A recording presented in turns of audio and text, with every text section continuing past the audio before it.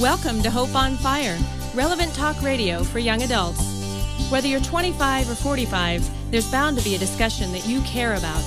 Our mission is to share practical ways to find God in your everyday life. And now today's host, Chris Lang. In a recent article from space.com, I learned that overhyped, overstressed culture mess here has now found its way into our skies by way of orbiting space junk. That's right. In early 2010, a European spacecraft was averted from a spent Chinese rocket stage when it, it was found that they would have passed by each other at the little distance of 160 feet. According to the article, such a space collision would have caused mayhem in the heavens, adding clutter to an orbit altitude where there are big problems already. Now, it's one thing to lose your GPS or satellite TV to a collision like that, but what about the dangers of orbiting clutter in our spiritual lives? I mean, do we dare to keep playing dodgeball with, with this spiritual life, or do we want to declutter the mess? How do we find a life changing, uncluttered, ongoing encounter with God? Hi, I'm Chris Lang, and today's topic is clearing spiritual clutter. My guests today are Allan Martin, Shayna Bailey, and Lynell LaMountain.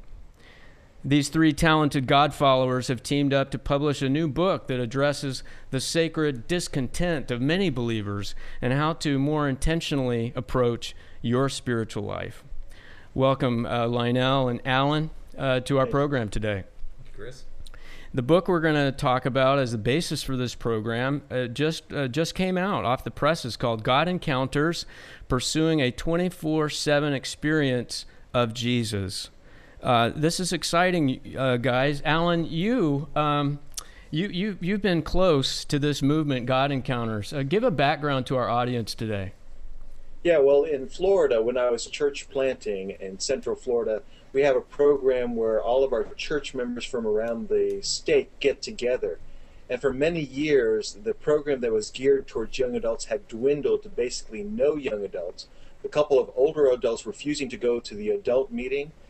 And my colleague, uh, Jeff Gang, and I were commissioned to put together, quote unquote, a program and we re- refused to do so because the program was not meeting the spiritual needs of the young adults. And from there is where God Encounters kind of blossomed and flourished. We got together with young professionals, college students, and youth pastors there in the area and said, what would happen instead of doing a program? What would happen if we spent some time praying and pursuing a closer relationship with God? What would happen if our gathering was focused in on that? And that's kind of the birthplace of where God Encounters happened a lot of people ask about the name God Encounters if it's some type of brand name, but it's actually the reality of our pursuit. And what we found has kind of generated this book and a movement that has kind of swept across our country and is going around the world. And we're really excited about what God's doing in our lives. So, Allan, God Encounters, um, it started as a sort of an event based ministry and it and, and and now you have God Encounters programs going on around the world. Yeah, well, the exciting thing about it is that even even as we kind of thought we were doing something and pro- providing an event, God was bringing up on His spiritual radar all around the world and literally all around us other people that were passionate about pursuing Him and were discontent with just simply going through the religious motions. And so we, we'd like to take credit for God encounters, but it's really our being a part of a larger thing that God was doing within a generation. Mm to have us pursue Him, pursue His desires, as opposed to just functioning in another spiritual pep rally. Allan, talk a little bit about the uh, the structure of the book, the theme in the book, you know how it was put together, and and then lastly how you got connected with Lynell and Shayna for this book. By the yeah. Shayna, by the way, will join us in the second half. Yeah. Go ahead, Allan. Uh, it's a fascinating thing. Uh, the scriptures continue to give us these faith practices that deepen our devotion to Jesus. And somewhere along the line, those lose meaning or we lose context. And what God encounters is simply trying to do is to re renew these faith practices, these habits that you have, whether it's prayer or reading God's word, whether it's sharing compassion, or simply knowing how to stop and rest. all these different faith practices for ages have brought us to a closer relationship with our Maker. And that's what we've tried to instill in God Encounters. Now, we've done a couple of things to it, is we're trying to use language that, first off, young adults understand, and second off, uh, in the Seventh day Adventist denomination, we've seen many of our young adults fall away from our faith and not attend church at all. So we wanted to make sure the language of these faith practices fit with what young adults can perceive and actually put into practical practical uh, practice. So that's what we tried to do with it. So how did you get connected with with Lynell and Shayna and some of the other authors for the book? Uh, you know, one of the things that we did as part of developing the gatherings was spend 40 days where we would pray together, but we'd also blog or we'd write devotions or focus in on particular passages. And so God Encounters in many ways is God kind of collecting all of these different authors, young adults. Some of them aren't even writers, some of them are artists that have kind of put together their thoughts. Uh, I helped to edit it, but there was a couple of really strong individuals in regards to sharing and blogging uh, Lynell was a pastor in North Florida at that time, writing very contemplatively and seriously mm-hmm. in regards to his walk with God. And Shayna was sharing the realities of being a young adult in the midst of all kinds of relational quagmires and conflicts and searching for God in the midst of it. And so, as I kind of put all these things up on radar, we mixed it all together in this book. And I'm hoping that God's glorified, and we're certainly doing it for His fame. Well, I'm telling you, Allan, I was impressed when I I had just a, a, brief amount of time to scan through this before the program, before the recording session today, and it truly is a human tapestry, is it not? Yeah, it's it's amazing. Even though we have these themes, and we would have liked to take credit for kind of orchestrating how the themes happened, by reading the experiences that people have had, and certainly as we focused in on, for one year, what we did with God Encounters the first time that we we deployed it was for one year we focused in on a particular theme. And as God kind of shared that theme in the life of the young adults, and we got these different entries, you see this tapestry yeah. woven where we see God working in our lives. And it wasn't a matter of us working on our own script or kind of organizing how the, the traffic and the flow of, of the book would occur. It was a result of God's tremendous and miraculous a weaving of our lives together that made it really powerful. Lynell, talk a little bit about uh, the journey you've been on over the last few years. You started a ministry, Life Ignited, and uh, it, out of that, that the, talk about the flow of your spiritual journey and the way sort of that landed in this in the pages of the, this book and partnering with Allan. Well, I uh, first became introduced to God Encounters during. I think it was 2005. Not sure. Allan went over there for a seminar at Kulaqua, and I uh, transitioned out of full time professional ministry in December of 2004 and went into writing in 2005 and it's something I've always loved doing is writing. It's in my heart. I just have a passion for it. I love it. And my favorite type of writing is devotional writing. Mm. I just love studying the Bible and having insights uh, being birthed into my mind and then writing about them. And that's even how I process it personally. And so my role in God Encounters came from a spiritual journey that began in January of 2005 because as I transitioned out of pastoring into writing and now being a just a regular person, so to speak, a civilian, you know, yeah, civilian, a civilian.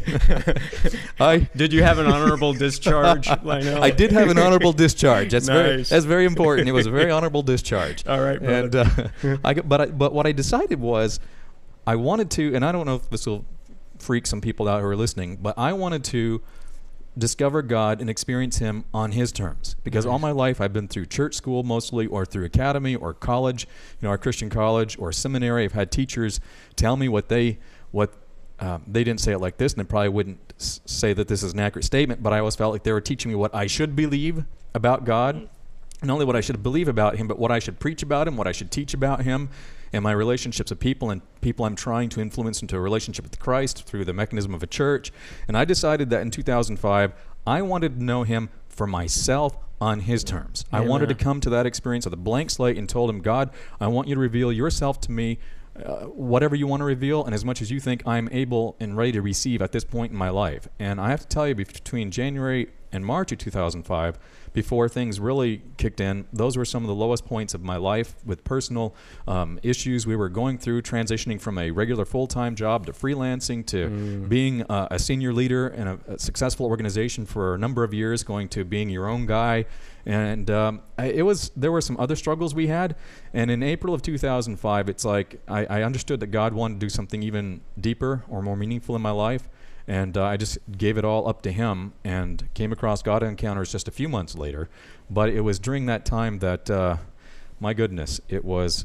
Uh, I, started studying every day from the Psalms, started writing about it, and sharing m- what I had learned with people who were interested, and they started passing these devotionals around, and, and things just sort of grew.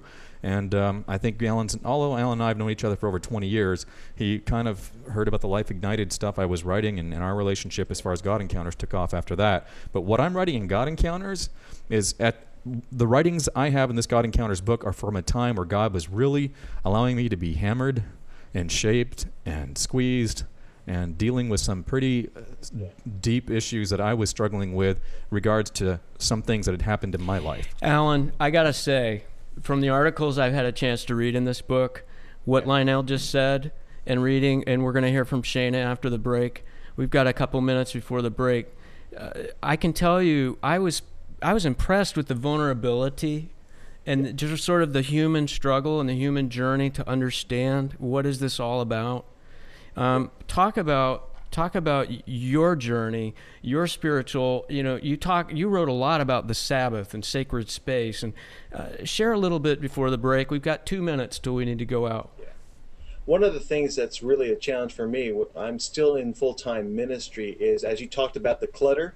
There is so much clutter, there is so much pressure, and I don't think it's just exclusive to ministry. I think all of our lives are filled with clutter, and we get out out of sync with even ourselves. Mm-hmm and so one of the things that I focused in was the particular theme of Sabbath. Now, Sabbath for Seventh day Adventists is a part of worshiping on a particular day, Friday sunset through Saturday sunset. But beyond that, the world operates on what the Creator has created as rhythms. Mm-hmm. We see the tides come in and out, we see the seasons come and go. And somehow we believe that if we take enough Vivarin and enough energy drinks, we can go 24 7. But God did not create us that way. And so part of my own struggle is saying, hey, I got so many things going on. I got so many things coming at me. How do I create sacred space in my life? And what God created and kind of renewed in me was an appreciation not only of the Sabbath as a what I call a week anniversary with God. We have our anniversary with a spouse. My my wife and I celebrate our anniversary, but we have this week anniversary where we celebrate with God. We renew ourselves with God. And I needed that sacred space desperately. And mm. many of the young adults, as part of that experience, really saw sacred space missing in their lives. Mm. And as we do God encounters, that is a space where God just relishes being with his creation and renewing the original love that he created at the very start of the world with us. So it's been a great experience, and I've learned a lot from young adults. And I'm hoping that these these um, stories are not just our stories, but stories that people can really resonate with. That's powerful, Allan. Um, how has it affected your family life, the God Encounters movement, in your own personal journey? You know, it, it's kind of funny because you know we talk about God encounters, and sometimes my my daughter gets a little peeved with me because I continue to read the entries over and over and over again. uh, but but it continues to be a part of the legacy that we have for ourselves and for the upcoming generations, and we're grateful for that. Thanks, Allan. We'll be right back after these messages.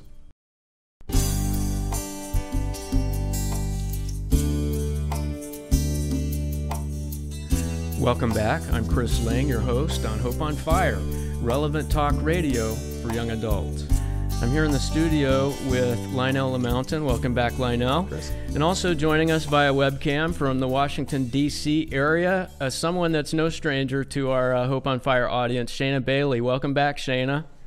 Hey, Chris. Thanks for having me. Now, this uh, this topic is a different topic than the last one. Of course, we're talking today about uh, the God Encounters book, the 24/7 Experience uh, with Jesus book. Right. Uh, talk to our audience about how you got involved with the uh, writing of this book. Sure. Well, when Allan Martin, who spearheaded the project, approached me, I was working as a writer for Insight Magazine as a relationship advice columnist, and I was also doing some freelance work and keeping my own personal blog on just a blog sharing site on the internet.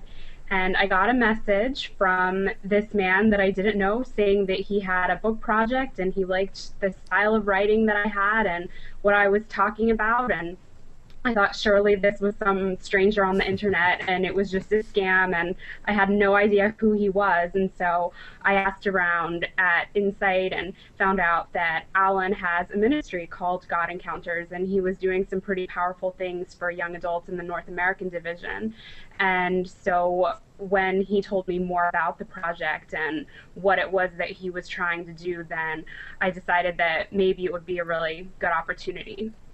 Well, Shayna, how does it feel to be a, a, published author now? I mean, not just on a blog, but in a real book. Um, and, and, the mm-hmm. fact that your articles, you know, that your the investment you made in your spiritual journey and your blog are now in the pages of this book. How does how does that feel? And you're you're a young adult. I mean, you're in graduate school now. So you're pretty young. right, young. I'm a medical student. So you're pretty young, but now you're in this book. And uh, talk right. about that journey and how that how does that feel about your journey? Right now at such a young age?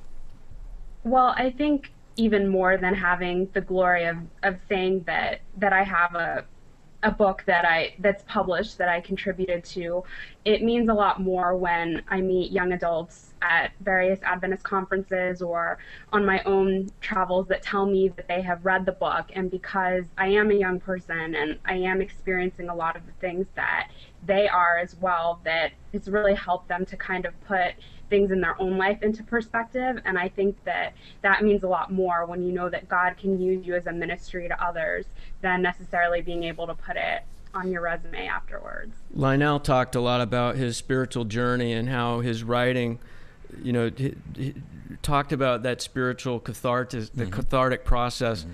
Shayna, you shared a lot of vulnerable things in your blogs that are now part of this book.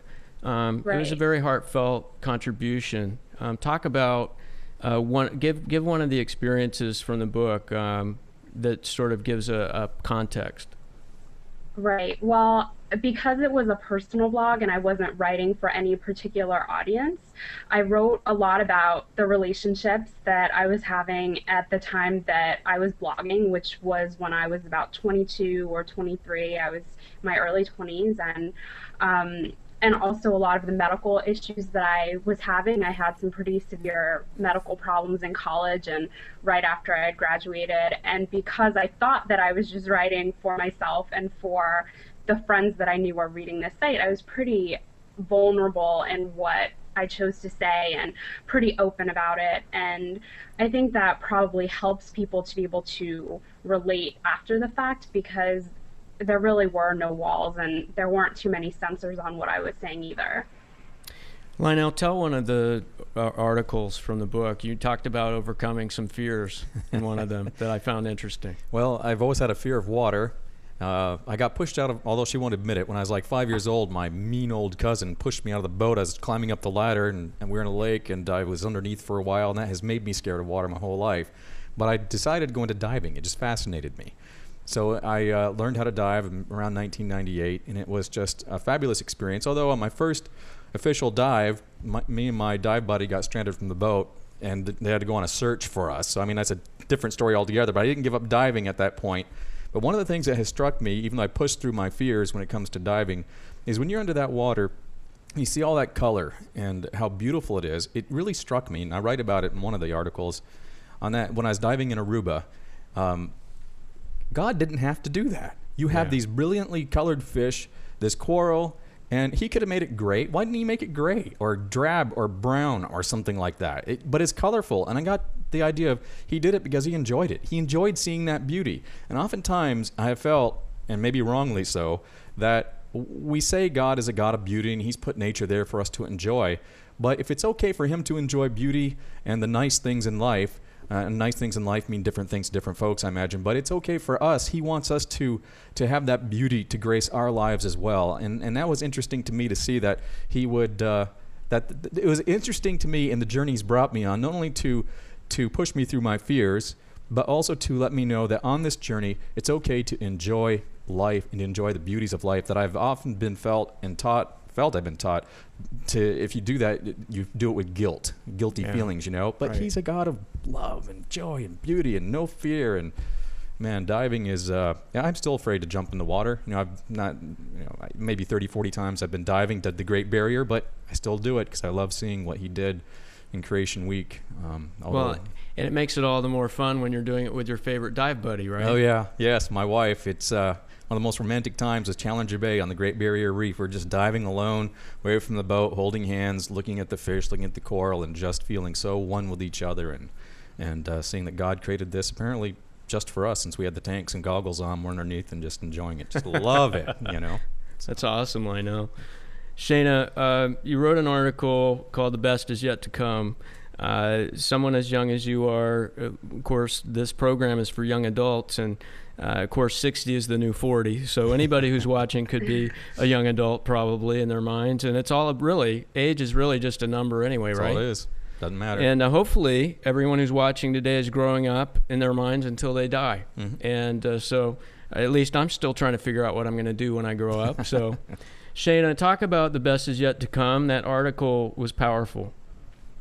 Okay, well, I believe that that one I was talking somewhat about the experience that I had in college, which, um, looking back after I had graduated, was not the typical um, great memories. Everything was fabulous. I had such a great time. I had a series of really traumatic personal events that happened, and at one point during my college career, I was really, really sick and I had to be hospitalized. And the, I think the day that I got out of the hospital or, or sometime close to it, within a week, my car was totaled and I broke up with my boyfriend. And then I got hired to start a new job and I had to move and I couldn't be released from the lease that I had on another apartment. And so, in a matter of three months, I went from having good health and good grades and a boyfriend and um, good finances to having really terrible health